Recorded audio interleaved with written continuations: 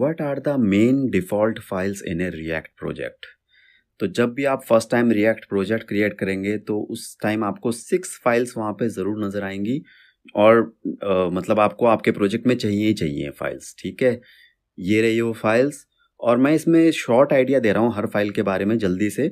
Letter हम शायद detail में इसमें क्वेश्चंस कवर करेंगे हर एक फ़ाइल के बारे में बट अभी एक आइडिया मतलब हाई लेवल आइडिया कि ये फाइल्स करती क्या है जल्द।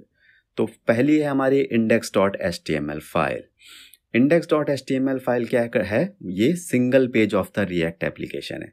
जो हम बोलते हैं ना रिएक्ट सिंगल पेज है सिंगल पेज है तो वो सिंगल पेज ये index dot S T M L ही होता है. ठीक है? S T M L file होती है उसके बाद आप अपने प्रोजेक्ट में कंपोनेंट्स क्रिएट करते हो तो उसके लिए आप कंपोनेंट्स फोल्डर क्रिएट कर सकते हो इनसाइड द सोर्स फोल्डर और यहाँ पे आप अपने कंपोनेंट्स डाल सकते हो. कस्टम कंपोनेंट्स ठीक है? अब उसके बाद हमारी होती है ऐप डॉट जी फ़ाइल और ये हमारा मेन कंपोनेंट होता है।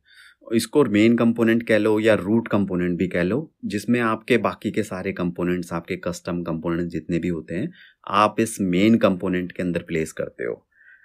उसके बाद जो ऐप डॉट जी फ़ाइल है, वो एक ऑप्शनल फ़ाइल है टेस्ट केस लिखने के लिए यूनिट टेस्ट केस लिखने के लिए।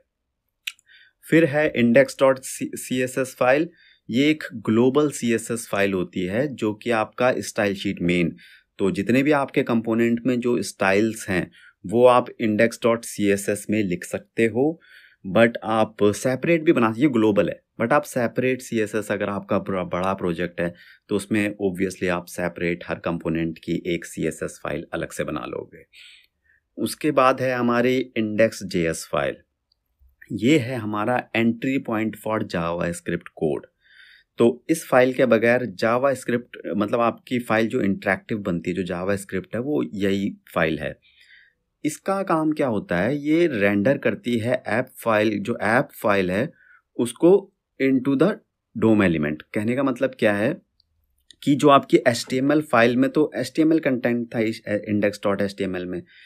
तो उसके अंदर जो कंटेंट जाता है, आपके सारे कंपोनेंट्स का ऐप कंपोनेंट और जितने भी कंपोनेंट्स हैं, वो इंडेक्स डॉट जेएस फ़ाइल के थ्रू ही जाता है और इसको मैं लेटर डिटेल में डिस्क्राइब करूँगा। ठीक है?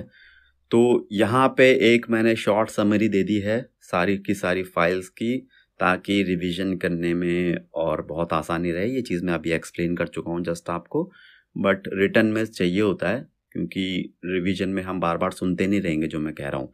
वो बहुत टाइम टेकिंग हो जाता है। जस्ट एक, नज़र डाली और काम हो गया।